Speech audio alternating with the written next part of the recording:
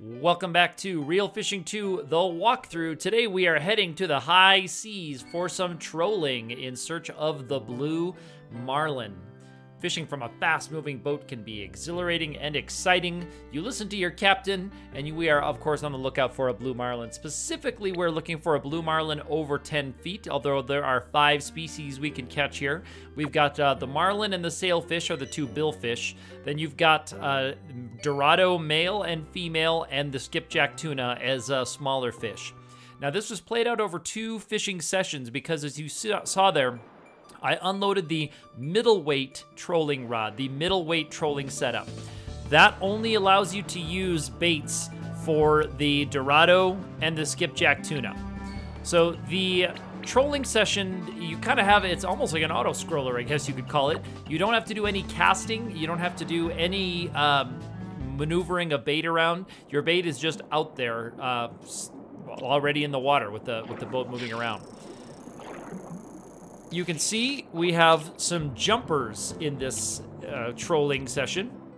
And when fish jump, they put a great strain on your line. So if you are reeling or pulling, or if your line already has some tension on it, even if you are not reeling or pulling, if your line has some tension on it, when they jump, they can snap it pretty easily. So you can see my drag is set to loose, and I'm watching the animation of the fish pretty carefully. And when they turn themselves up towards the surface, as soon as I see that, I let go of everything to see if I can get tension off the line before they get themselves to the surface to jump. Now, when I turn them, as you just saw with this Dorado, uh, it's a little bit different story. You do have to keep reeling because you have to get them up to the surface in order to land them. So this is the Dorado female. By the way, um, this fish goes by a few different names. Um, some people call it mahi mahi, especially when you're uh, ordering it to, to eat at the uh, sushi restaurant or at the seafood place. You get the mahi mahi. Uh, Dorado is a name that I've seen it in a couple of different fishing games from Japan. And then uh, some English uh, speaking anglers call them dolphin or dolphin fish so you may know them by a few different names. I'm not sure why they have uh, male and female. It's two different species in this game, but there's actually other fish that uh, have two different varieties for male and female. Uh, I think ras is one of them, and pale chub is another in this game. Pale chub, male and female, ras, male and female. So this is another Dorado. I, I, on this first day, I'm trying to just check off my list on the second day, that's when you unlock the heavy gear. But uh, right now, the gear only lets you use these smaller uh, lures that are specifically for the smaller fish, the Dorado and the skipjack tuna.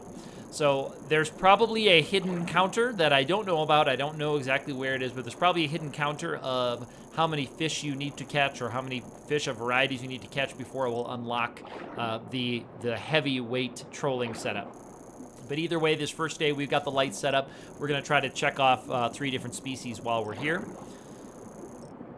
And again, I'm trying to let tension be pretty light on my line because he jumped there kind of without warning, and he was at the end of the line when the tension is at the strongest. There was some kind of billfish. I think it was a sailfish we saw in the background there.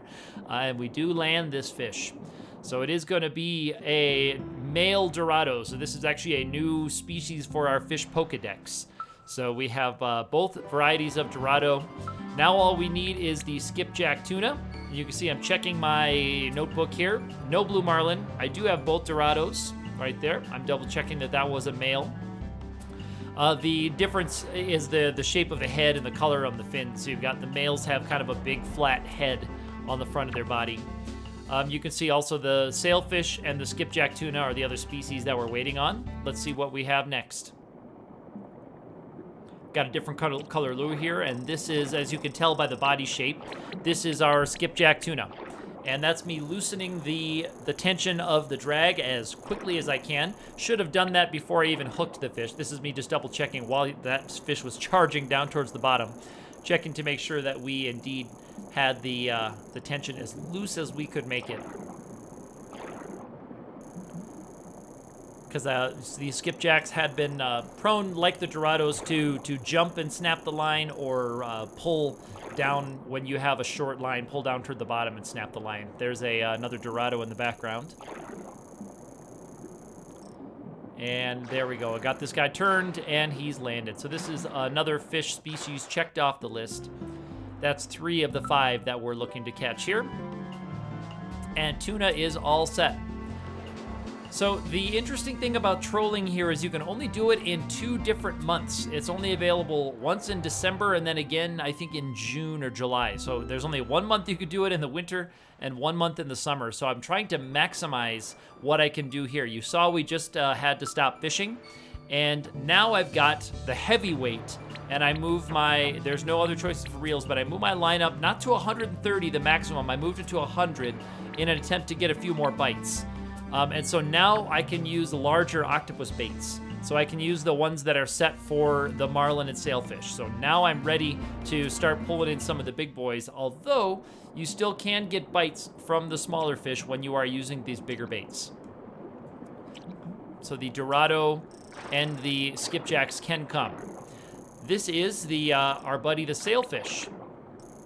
And I'm doing the same thing where I'm keeping the drag as loose as I can keep the drag and trying to get this fish in with as little tension as I can on the line when he starts to turn towards the surface there.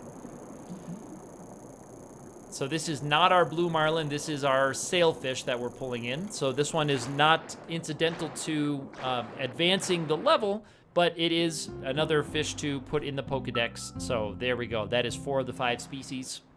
Still waiting on that blue marlin. Um, I noticed that if you use 130 pound line, the you know, the highest strength line you can, your time between bites can be pretty long.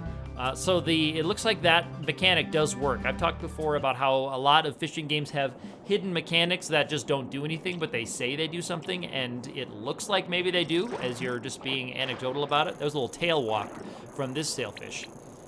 But this one does seem like it does work. So when the line is a stronger strength, you your bite rate will be lower. And when I needed to advance this level here quickly in a small number of sessions, there's a lost sailfish. I wanted to maximize my bite rate in order to at least get some blue marlin in while I was here in December, uh, to avoid having to advance the month all the way to the summertime to come back to this level. I'd like to use my time in this game as conservatively as possible. I try not to just jump forward on the calendar if I can avoid it. You can do that, but you can't back up on the calendar, of course. This is a blue marlin. So this is the target species. The size we're looking for is 10 feet. 10 feet. And I'm noticing that these fish in this level, the biggest risk normally is them jumping and snapping your line. The kicking animation, you're seeing it a little bit more from this blue marlin than you have with the Dorado, the skipjack, or the sailfish. Uh, but a lot of the fish in this level don't do that kick animation very much. So you don't have to worry a lot about losing fish like in some of the smaller fish species in the creeks where you're always having them uh, force their way off the hook with that kick animation. This one, you're a little bit more worried about them snapping your line off. So our Blue Marlin here giving uh, quite a fight, and we're taking it easy. We're going slow. I'm trying not to build up tension on the line because a big run or a big uh, kick would um, could really ruin our day. So this is species number five. It is seven and a quarter feet, not the one that we're looking for, but it does check off that species. 469 pounds.